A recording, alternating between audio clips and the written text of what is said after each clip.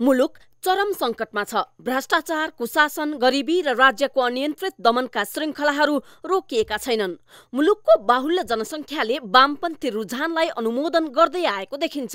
तर किन वामपन्थीहरू एक हुन सक्दैनन्? यो मूल प्रश्न बनिरहेको छ। नेपालमा ठूलो कम्युनिस्ट दलमध्येको एक नेकपा एमाले कम्युनिस्ट पार्टी स्थापनाको पचहत्तरौं वर्षको अवसरमा आयोजना गरेको हिरक जयन्ती उल्लासमय त बन्यो।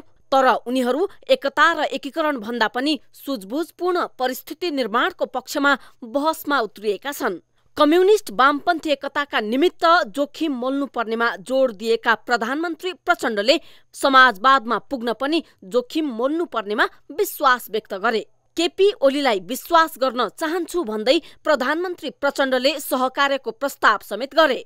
तर हौसिएर एकता गर्ने पक्षमा नरहेको उनको जोड छ। हतारमा हौसिएर कम्युनिस्ट एकता भन्ने पक्षमा पनि अहिले हामी छैनौँ।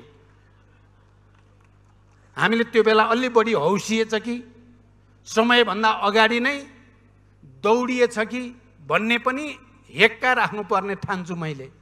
कारण अहिले हामी सहकार्य सुरु गरेका छौँ राम्रो सहकार्य गरौँ यसबाट जनतालाई र राष्ट्रलाई हामीले राम्रो सेवा दिउँ।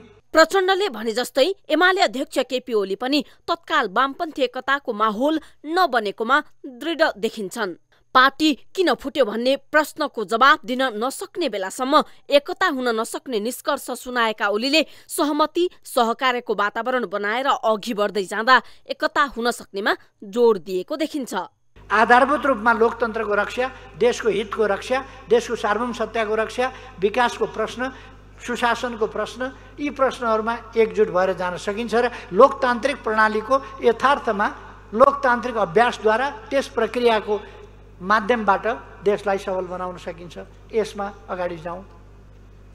यो सबैका निम्ति एउटा आधारभूत एकताको कसरी केमा एकता हुन सक्छौँ हामी भन्दा यी कुराहरूमा एकता हुन सक्छौँ। नेपालको वामपन्थी आन्दोलन किन एकीकृत हुन सकेन भन्दै चिन्ता व्यक्त गरेकी पूर्व राष्ट्रपति विद्यादेवी भण्डारीले कम्युनिस्ट एकता किन विभाजन हुन पुग्यो भन्ने प्रश्न गरिन्। पार्टी विभाजन हुनुका पछाडि वैचारिक कारण थिए वा पदीय लाभ हानि भन्दै भण्डारीले खरो प्रश्न गरेकी हुन्। देशका कम्युनिस्ट पार्टीले किन के कति सफलता हासिल गरे र के कस्ता विफलता बेहोर्नु पर्यो? नेपाली कम्युनिस्ट आन्दोलनमा पटक पटक देखिने गरेको फुट र विभाजन साँच्चै सिद्धान्त विचार र राजनीतिक कारणले भएको हो कि पदीय आकाङ्क्षा अवसरवाद र भड्काव हावी हुँदा भएको हो। छिन्न भिन्न कम्युनिस्ट। दुई हजार छ सालमा नेपालको कम्युनिस्ट आन्दोलन सुरुवात भएको मानेर मनाइएको हिरक जयन्तीसम्म आइपुग्दा पार्टीहरू छिन्न भिन्न देखिन्छन्। कम्युनिस्ट पार्टी भन्नेहरूले राजाको पक्षमा ओकालत गर्नेदेखि संघीयताको विरोध गर्ने सम्मका चरित्र देखिएका छन्। कम्युनिस्ट नाम राखे पनि आफू एक्लै रहेर पार्टी सञ्चालन गर्ने प्रवृत्ति पनि उच्च छ। कुन कम्युनिस्ट पार्टी कसको नेतृत्वमा? नेकपा एमाले। अध्यक्ष केपी शर्मा ओली। नेकपा माओवादी केन्द्र अध्यक्ष पुष्पकमल दाहाल प्रचण्ड। नेकपा एकीकृत समाजवादी अध्यक्ष माधव कुमार नेपाल। नेपाल मजदुर किसान पार्टी अध्यक्ष नारायणमान बिजुक्ष नेकपा मसाल भूमिगत पार्टी अध्यक्ष मोहन विक्रम सिंह। राष्ट्रिय जनमोर्चा खुला पार्टी अध्यक्ष चित्रबहादुर केसी। नेपाल कम्युनिस्ट पार्टी अध्यक्ष नेत्र विक्रम चन्द विप्लव। क्रान्तिकारी कम्युनिस्ट पार्टी नेपाल अध्यक्ष मोहन वैद्य किरण नेकपा संयुक्त अध्यक्ष चन्द्रदेव जोशी नेकपा माले अध्यक्ष सिपी मैनाली नेकपा मार्क्सवादी अध्यक्ष लोकनारायण सुवेदी वैज्ञानिक समाजवादी पार्टी अध्यक्ष विश्वभक्त दुलाल आहुति नेकपा माओवादी अध्यक्ष गोपाल किराती आम जनता पार्टी अध्यक्ष प्रभु शाह नेकपा एकता राष्ट्रिय अभियान अध्यक्ष वामदेव गौतम। नेपाल कम्युनिस्ट पार्टी अध्यक्ष ऋषि कटेल। को पार्टी कसरी बने?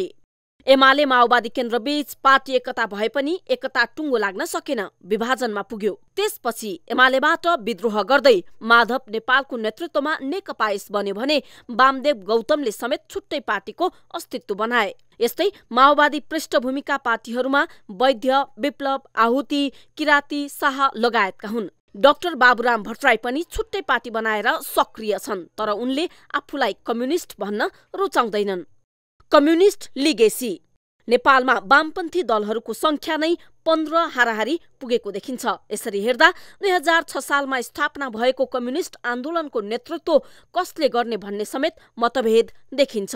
यस्तोमा माओवादीले दस वर्ष लामो युद्ध नै गरेपछि एमालेको प्रभाव कम हुने अपेक्षा नगरिएको होइन।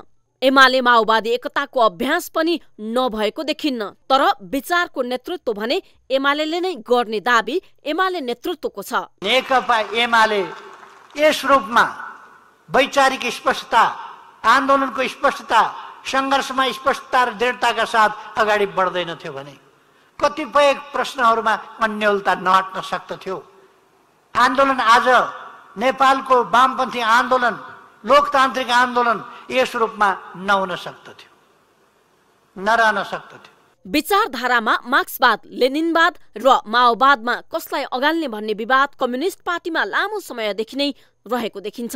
यस्तोमा विभिन्न समयमा एकता हुने र टुट्ने प्रक्रिया समेत तीव्र नबनेका होइनन्। तर अहिले एजेन्डाको हिसाब र संविधानको लय हेर्ने हो भने मुलुक माओवादीको एजेन्डामा नै हिँडेको देखिन्छ। सङ्घीयता धर्मनिरपेक्षता समानुपातिक समावेशिता लगायतका विषय माओवादीकै हुन् तर एमाले नेतृत्व भने यो मान्न तयार देखिन्न। हिरक जयन्ती मनाएर एमाले कम्युनिस्ट पार्टीको लिगेसी भने आफूले लिन खोजेको प्रष्ट देखिन्छ। एमाले वामपन्थी दलहरूलाई मात्र नभई अन्य दललाई समेत एक ठाउँमा राखेर दिन खोजेको सन्देशले पनि अब वामपन्थी आन्दोलनको मुख्य लिगेसी एमाले नै लिने अग्रसरता लिएको भने पक्कै देखिन्छ। न्युज ट्वेन्टी टेलिभिजनका लागि राजनैतिक ब्युरो।